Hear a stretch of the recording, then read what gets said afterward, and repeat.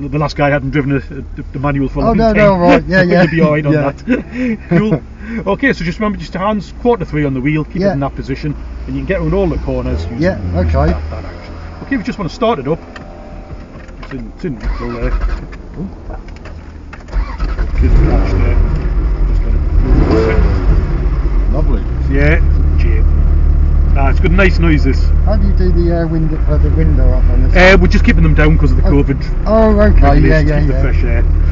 You can hear the car as well. You, well, you can, it's nicer. Yeah.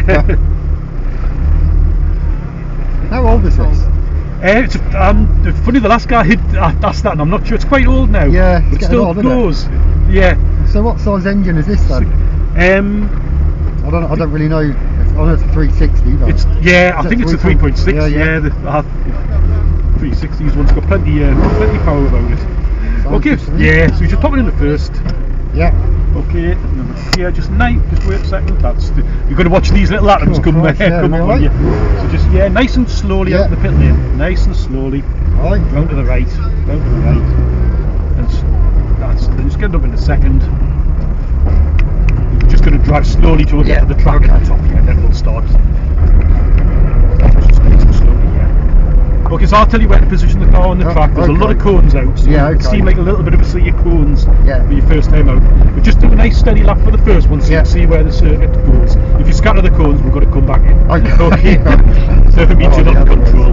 So it's big. It's basically a big oval with a couple of chicanes. Yeah. Okay. We've got some yellow cones out for markers, like braking points. Just some cones to go through. But I'll explain it all as we as we go through. Don't worry about the mirrors. I'm checking behind. So if the Okay. past car comes behind us. Yeah. I'll indicate to let him go past and I'll let you know. Okay. Similarly, if we catch a car in front, we'll get he indicates and I'll tell you when we Yeah, yeah. only only passing on the right hand side. Pop it up in the third if you want. Just put up a little bit speed. We'll just clear the pits now. Right. Just going to head up to where the flowers there. You see the guy in the orange tab on. We're going to head Yeah. up towards him, right hand side of him. So just head over there.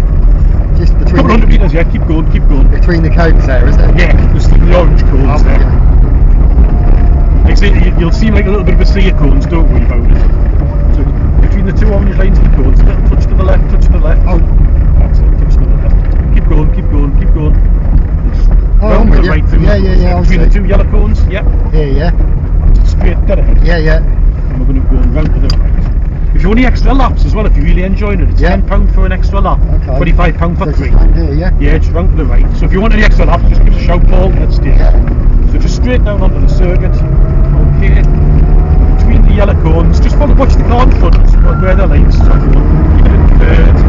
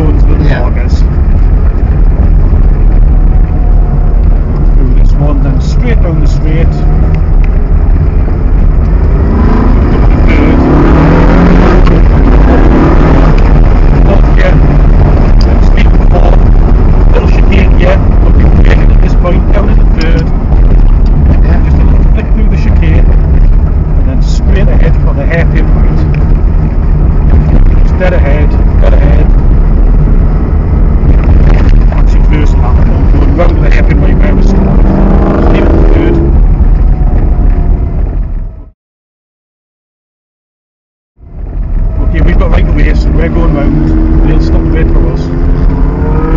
Keep going, keep going up the right, keep going up the right.